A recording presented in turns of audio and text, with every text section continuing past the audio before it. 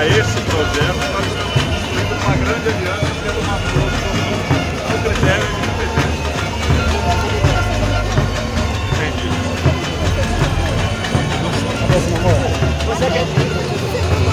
Eu, eu acho que é uma eleição.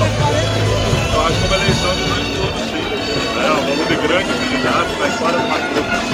Talvez eu nós não tenhamos uma eleição